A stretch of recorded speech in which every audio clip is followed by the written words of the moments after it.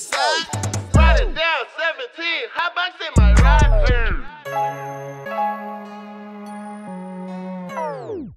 Rap, trap, rap, trap, snap, snap, trap. Man, it's your boy 6 9 and you know I'm rocking with DME TV, man. What it do? How you doing, man? Man, I'm chilling, I'm blessed. Can't complain about anything, man. Bet that uh, you see you've been putting in a lot of hard work lately, man. How it been going for you? Going good, man. It's a, it's a non-stop grind. Yeah. But, um, you know, everything going good. Uh, my mixtape about to drop on live mixtape. Um, that Pill Spinnerella in about a week or so, man. So, you know, just getting up, man. You know, so I can make an impact with, with the drop of that. Yeah. What's the title of it? Dirt Road Dreams Dirt Road mixtape, Dreams. man. That's what it is. I see you've been doing a lot of work in Atlanta, man. How that, how coming from Carolina, how that affect you when you go down there and try to handle business with those guys? Um, I ain't gonna lie to you, man. Atlanta a tough market, you understand? Cause one thing about it, you know, you ain't from there. And Yeah. Atlanta is the place, man, where artists try to migrate from all over. You know, Cali, upstate. You understand? So you know, it's just like a big music world. You know what I'm saying? Or wanna be music world. You know, cause a lot of artists don't break from Atlanta, but you understand? A lot of artists that break from Atlanta from Atlanta. You know, if Yeah. anybody really watch, you know, and pay attention. So Atlanta tough, man, but um, you know, it's about real relationships in Atlanta. You know, like just thinking you gonna go down there and a person gonna um, do this and do that for you, man. Like if the relationship ain't built off, you know, reality, man, and some real in it, man, you you be wasting your time. You know, honestly. Right, right. So with that said, how, how how long you been in the music biz, bro? And um, since I've been a little boy, I used to write music, you know. And um, you know, as I get, I got older, you know, I still wrote, but you know, I ran the streets, man. So you know, I kind of chose the streets Yeah. um, before music, you know. So going hard and really being serious about it, man. I say probably four years, you know. But I've been doing it all my life off and on, so I always had a passion for music, you know, since a little boy, without a story to tell. I seen you done had a couple songs with a lot of big names, man. You want to get a, the fans a list down of those? Yeah, I got a song, um, Kama Sutra with Lil Wayne. I got a song called Black with 2 Chainz. I got a song called Columbia with Shawty Lo, rest in peace to him. And I just uh, recorded one with Young Greatness from New Orleans, man. Shout out to, to YG, man. But um, you know, there's much more to record um, with, man, on the list. But you know, I think the people need to hear me, you know. Yeah, yeah. Yeah, me, man. Let me expand my brand, you understand, and let some of them artists recognize me and want to come get a future, man. Versus, man, I'm seeking a future from somebody, you know. Yeah, yeah. But if it happened like that, you know it happened. You know, collaboration is always good.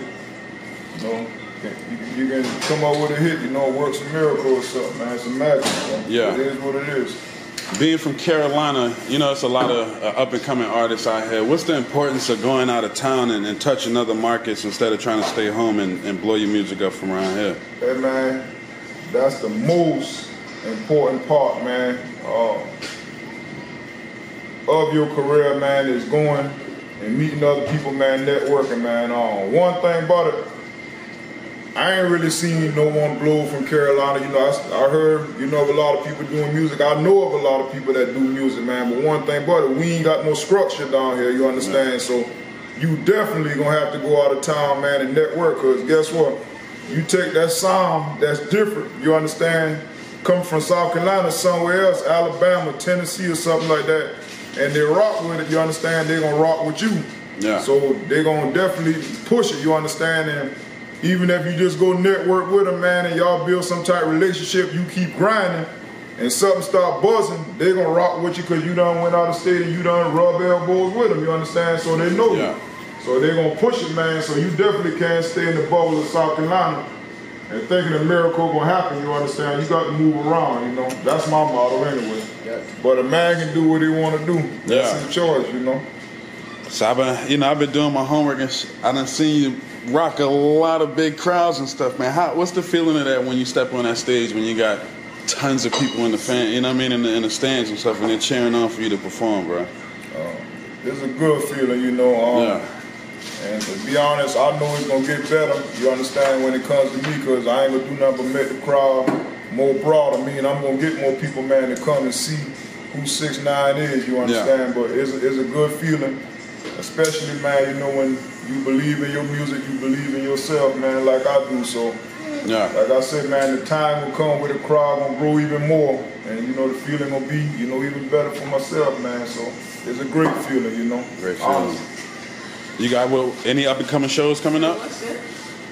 Um, I got a few parties, man. That you know, I, I'm always throwing a party. You understand? If Yeah. I don't have a show, I'll put together a party, man. So the work never stops, You know. Yeah. If I don't have a show, I'm going to make a show, man, to let somebody know who Six Nine is. So Right. you know, that's the grind.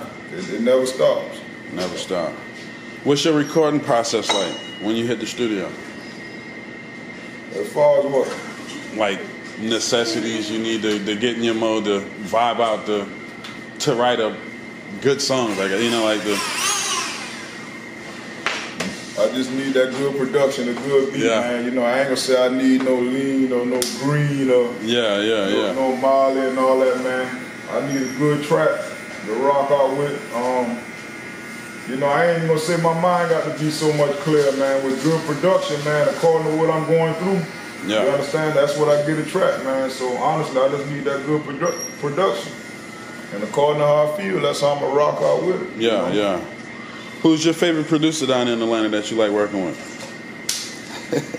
I like stupid beats, man. You know, I, I mean, he underrated, man. To me, you know, um, he got a lot of hits. Um, you know, Rich Homie Quan, the difference between me and you, TK and Cash, Mind Right, uh, Rollo, Can't Lie, and, and several more, man. He don't work with with them all. Why, you know, um, Wide Fin, Yeah everybody, man. Black Youngsta, you know, I like his production, man. I feel like he can give the best of both worlds with his production. Um, you know, I done had a, a chance to rock out with a few other artists, uh, Shawty Redd, you know, Jeezy and Gucci, old producer. Um, you know, I feel like you know he did his thing in his era, man. But you know, right now, um, you know, they more Metro Boomin and Stupid and you know, etc. And I also like Metro Boomin. Um, you know, I worked with him when I first got into Atlanta.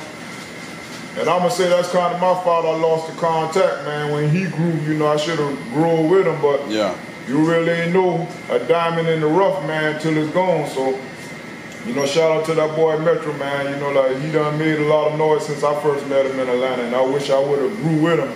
Yeah. So I know that I'm gonna have to make some noise, man. You know, to get back in front of him because he know who I am. You know, yeah yeah before all his limelight, man, he pulled up on me several times. You know, with the laptop, man, and you know I caught from him. So, you know, everything come back around full circle. You know, It Yeah. is what- it is what it is. And it's crazy that you said that, you know, shopping with the producers, like a lot of cats in Carolina don't, they don't understand if you circulate money, more money will be made. Like a lot of these cats scared to spend money or they, they just don't want to spend. I don't, I don't even know what they mind frame be about that, but you got to put into what you want to get out of it. You know what I mean? And I'm gonna tell you like this, man, with a mind frame like that, they ain't gonna make it. Yeah. You know, I'm gonna tell you something, this, this real talk. A man with a different mindset and don't have the money to put in his grind to make it before the man that got the money to put in his grind is scared to spend it, he'll never make it. Yeah, A yeah. man that's hungry, that got the talent and no money, will make it before you. You understand? Because his passion gonna drive him Drive a little bit further. That ain't really your passion if you scared to put a dollar out there. Yeah. I done put more money in my music, man, than half of these boys out here that say they're trapping and doing this, that, and the third gonna ever make. You Yeah. understand? From the grind, and that's that's a fact. You understand? Ain't no need to get no figures. I'll get figures one day. Yeah. It makes some sense.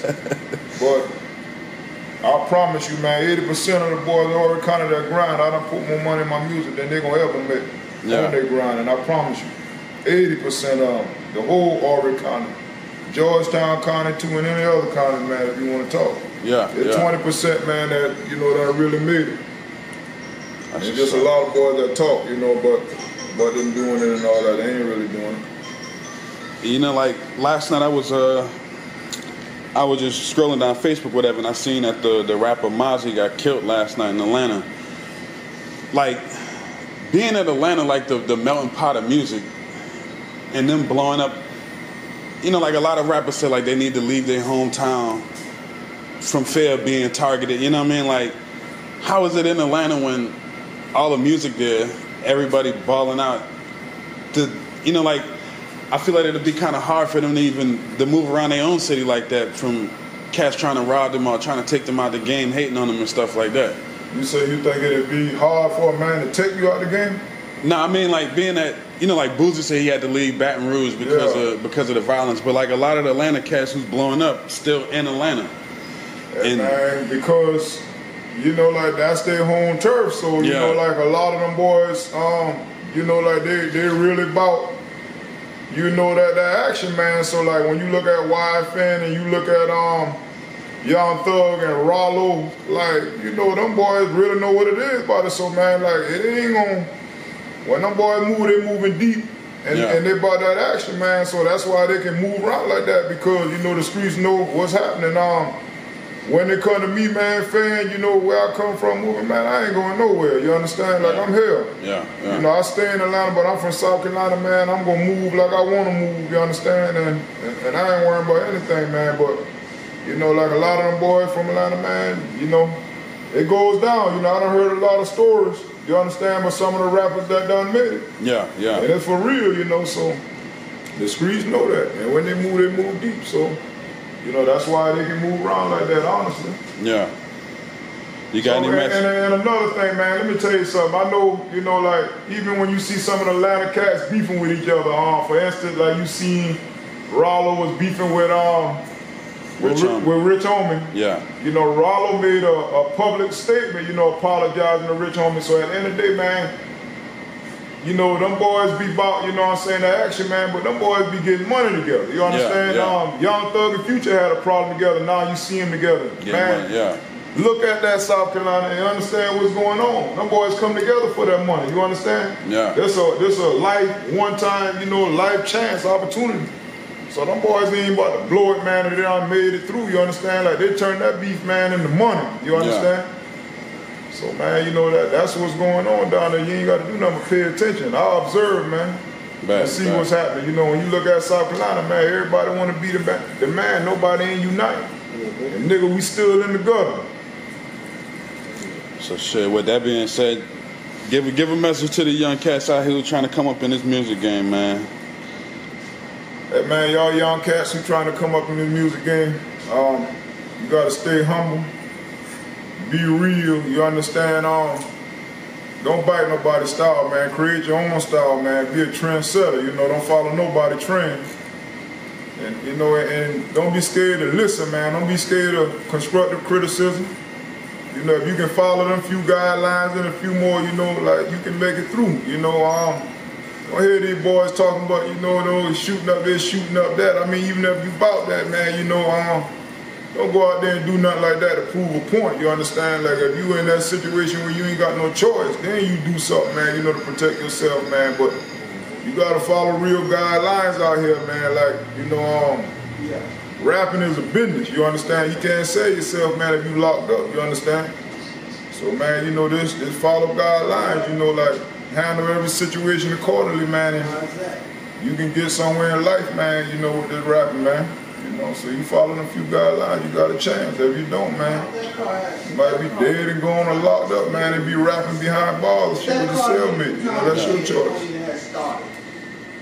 You want to hit the fans with all your social media and where they can find your music at? Hey man, my website is Six9music.com. That's S-I-X, the number nine, music.com.